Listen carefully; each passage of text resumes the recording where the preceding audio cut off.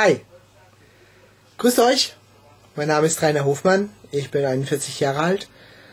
Ich bin ein Superfan von der TSG 1899 Hoffenheim und ich mache gerne Musik, spiele gerne Gitarre.